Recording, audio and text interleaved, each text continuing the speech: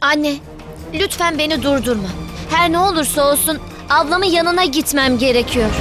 Öyle bir plan yapmalıyız ki Mira Modi sonsuza dek kapana kısılı kalmalı. Baksana neden geldin? Niye? Bir sakıncası mı var? Neden sakıncası olsun? Bu ev artık bana değil, sana ait. Ne de olsa ailenin gelini sensin. Tanrı bu dünyada işlediğin tüm günahları affetsin kızım.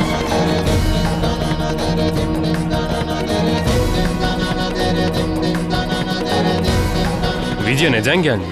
Vidya! Vidya kocasının evine döndü.